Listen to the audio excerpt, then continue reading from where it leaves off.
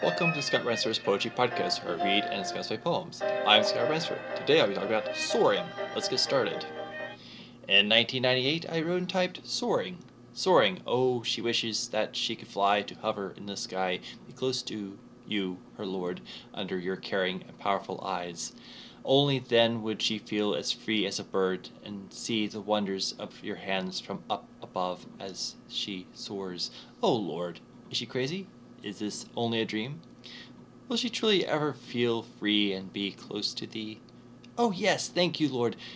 She's weakening, wakening from that dream. She feels you here in her heart as if the warmth of your love came bursting through in rhythmic beat, but yet as the beautiful sound of a peaceful stream. Soaring now on Amazon, collected poems, Volume 1, 1995 through 2001, Kindle, paperback, and hardcover. That brings us to the end of this episode. Hope soaring was beneficial to you. As always, thanks for listening to Scott Ransopher's Poetry Podcast.